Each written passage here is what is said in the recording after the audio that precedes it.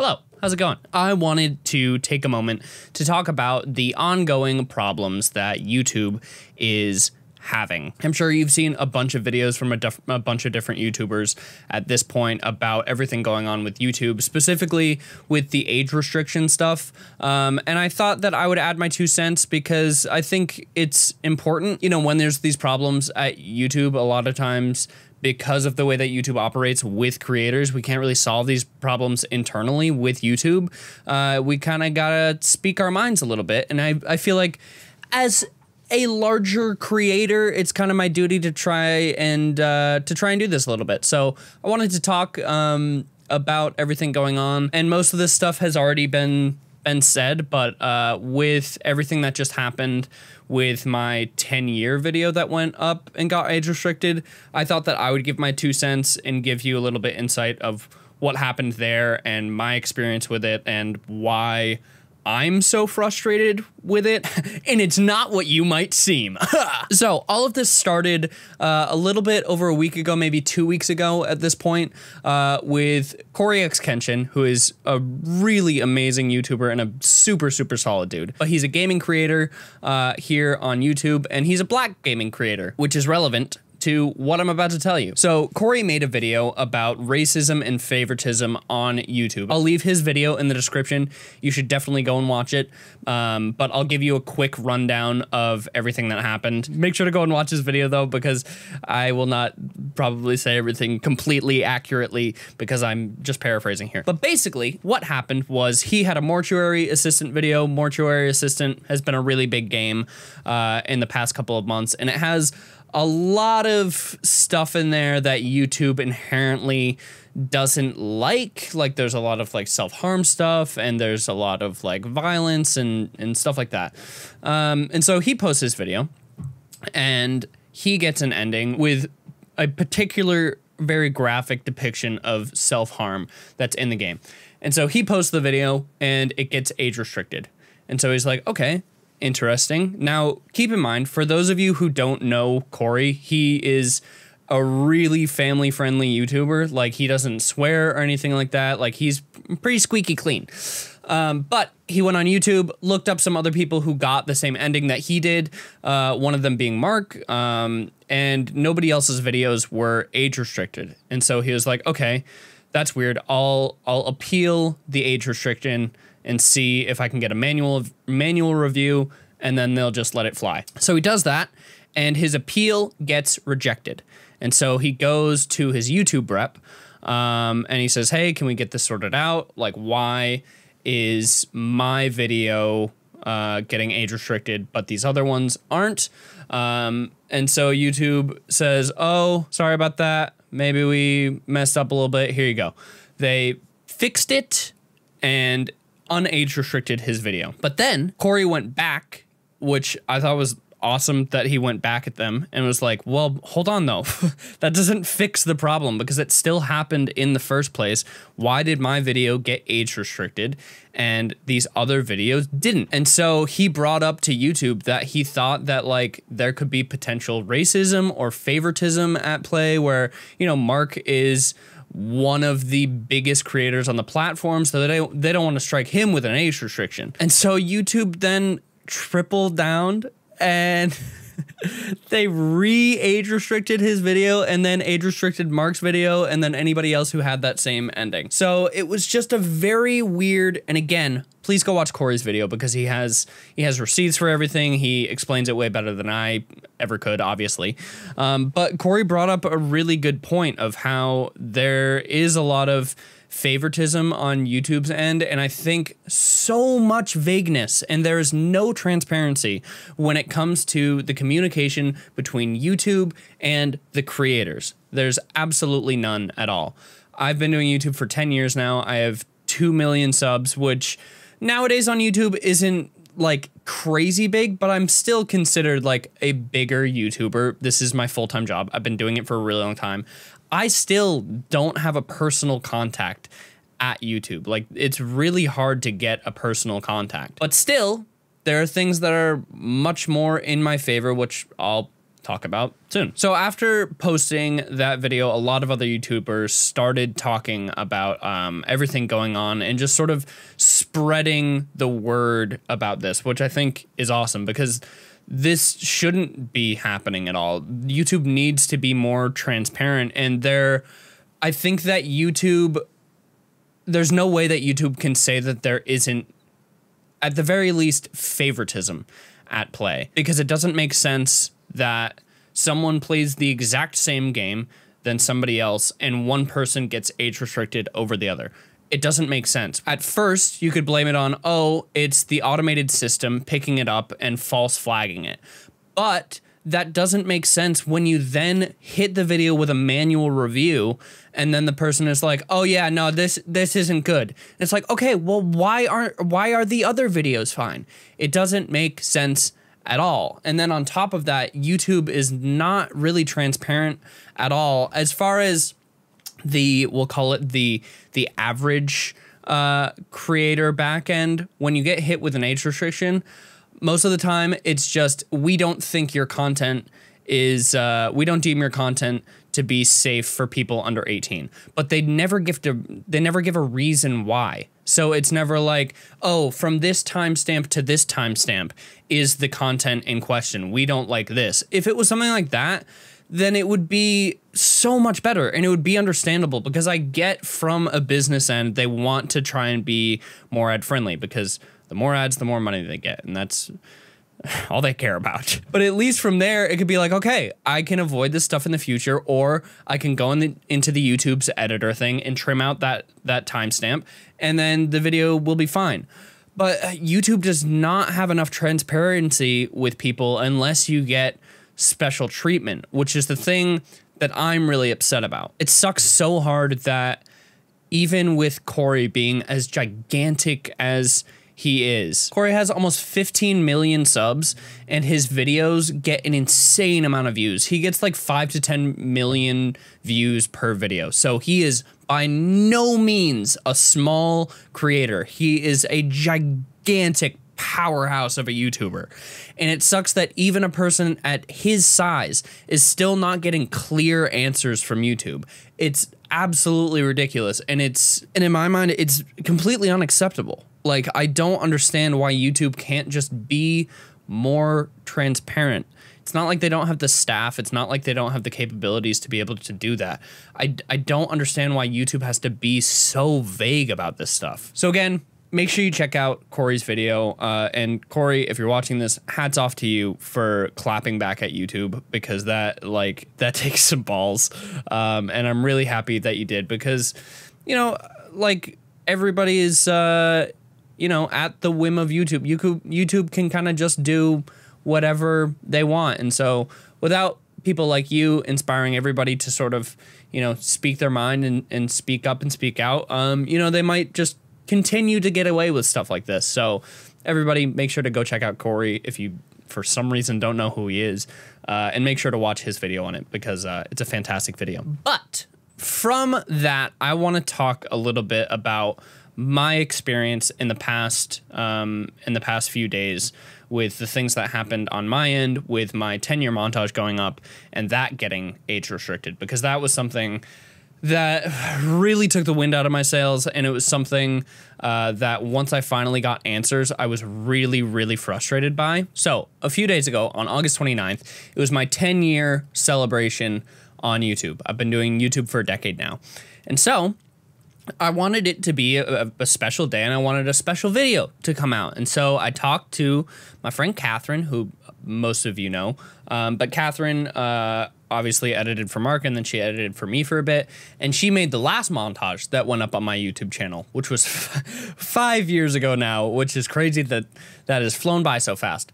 But she did the five year montage. So I went to her and I was like, hey, would you like to make the 10 year montage? uh, for YouTube that's coming up. This was like over six months ago. So she said yes, put in tens of hours, like I don't, probably upwards of a hundred hours of work. Uh, she went through 10 years of my channel and made it down into a two and a half hour montage of like some of the best clips and the most memorable mo- memorable moments.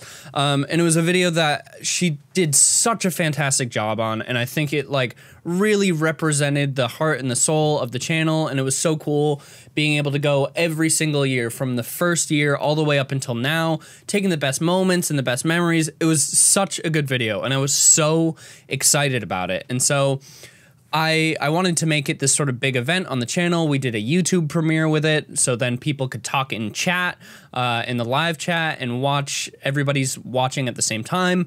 I was super excited about it because it was such a good video, and I was excited for that to be a big staple of the channel and to be able to show that video off a bunch. But then. YouTube came around. It had to been either late that night or maybe the next day. Um, and they hit it with an age restriction, which was a big old bummer. So, if you don't know about what happens with an age restriction, uh, it's anybody who has an account that is under 18 years of age or anybody that's not logged into a YouTube account cannot watch it. So if you're logged into an account and your account information says that you're under 18, you can't watch it. But then also people who are not using a YouTube account and are just like watching casually, they can't view the video. So it really suppresses the video a lot. Like the the views are one thing. Like that sucks that it can't get the views that it could have if it was not age restricted. The thing that I get really upset about is that I had people tweeting me that were like, yeah, it booted me off mid viewing it because I'm 16 or whatever, um, which sucks so bad. So I sent an appeal for the age restriction. Um, and keep in mind, this video is almost two and a half hours long. It's two hours and 23 minutes long. Within 10 minutes of me submitting that appeal, I got rejected from a manual review, um, a manual review. So obviously, I got upset about it, and I tweeted, I tweeted Twitter, and I contacted my manager. I don't have a personal contact at YouTube, but my manager knows people at YouTube, so I basically have I have a form of contact. But it's ridiculous because it's like, okay, I sent this in for a manual review. How could you have done an adequate job? At manually reviewing this video in 10 minutes that's two and a half hours long. It literally is impossible. So I got really upset, obviously, because it's like, how how is this real? Um, and so my manager, God bless his soul, he sent um, a pretty scathing email to YouTube being like, hey, he didn't say these words, but, you know, what the hell is going on? Like, why is this happening? Why did the repeal happen? Or why did the rejection happen so quickly? Can we get some answers, please? Can we get somebody actually looking at the video, please? And so after a while, I did get a response back and I'll show you that response here. I'm gonna blur out any names, any emails and stuff, obviously. Uh, and I do wanna say before any of this, like, these are these people's jobs. I don't blame this one person. I very much appreciate that they took the time to try and figure stuff out. They were just trying to give me answers. So I, I just want to state like this person that was helping us was doing a great job. I just wish that it was a little bit less vague because I think that, you know, this person is getting answers from other people. So I just want to I just want to state really quick that the person that was helping us out um, was really great and he was super nice. Um, and I I sort of feel bad that we just sent this big like, hey, what the fuck is going on?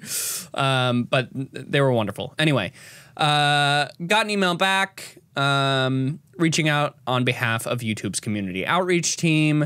Uh, our colleagues from Team YouTube flagged me that you had questions about the age restriction applied to your 10 years of crank gameplays. I brought your video to the attention of our specialists who carefully reviewed it and would like to share some information with you. So, this email got to me okay so it was august 30th the day after it was posted at 3.45 p.m and the original email was sent at 8.17 p.m so assuming that they hopped on immediately like they had adequate time to actually watch the video. It's like youtube has always been committed to creating the safest platform blah blah blah. Same time, YouTube has the responsibility to offer a safe environment for all audience, including those who are under 18 years of age. Blah, blah, blah, blah, blah. With this context in mind, upon careful review of the content, our specialist confirmed that the video violates our vulgar language policy.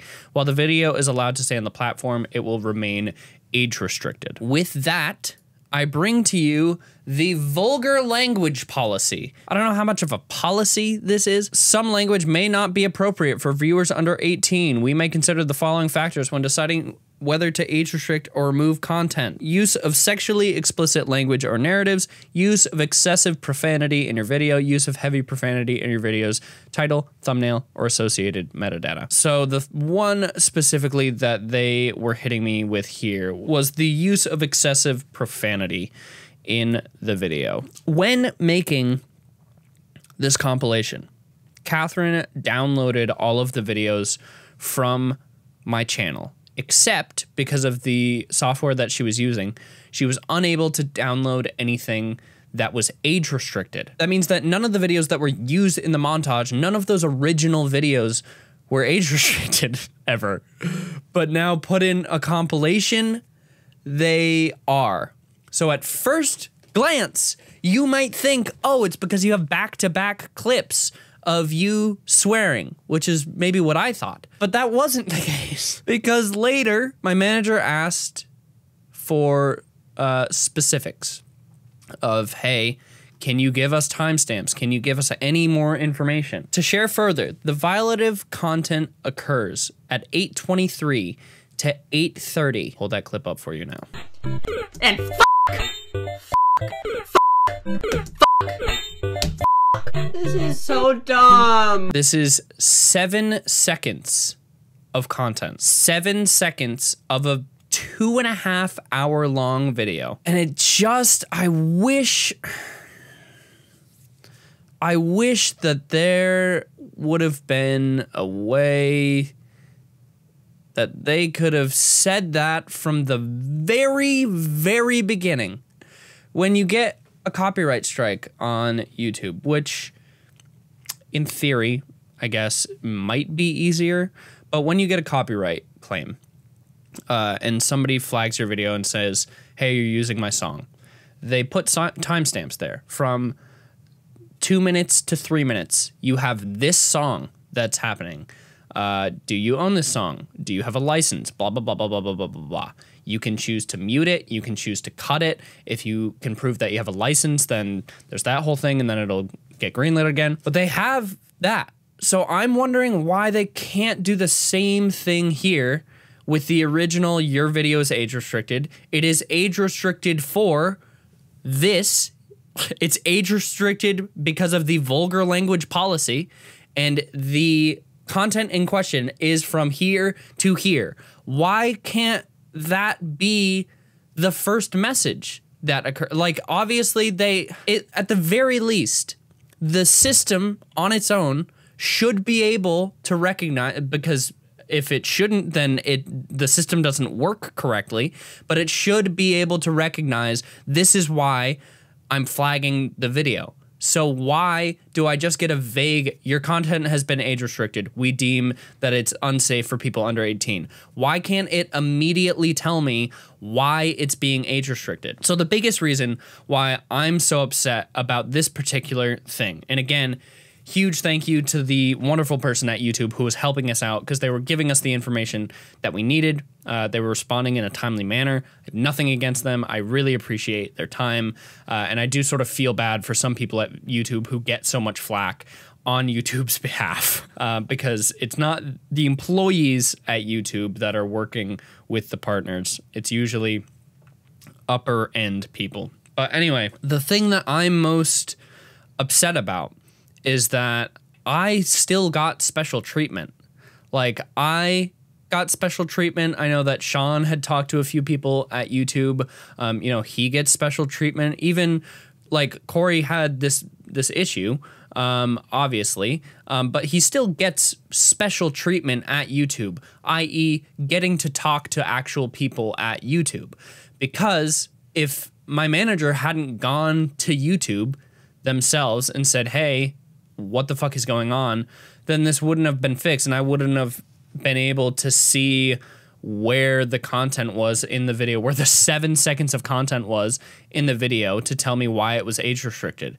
And so it makes me really upset and also really worried for the future of YouTube and also the future content creators because people who are smaller don't have those contacts. People who are smaller can't get in contact with YouTube to figure this stuff out. So when they get age restricted or when they get a strike or when something happens, even like hopefully like if their channel got you know deleted or hacked or something who do they talk to because it doesn't seem like YouTube's doing a good job at being transparent and letting people know what the issues are and how to fix them. They just say, "Oh, this video isn't suitable," or "Oh, you got a copyright strike. Sorry, there's nothing that you can do about it."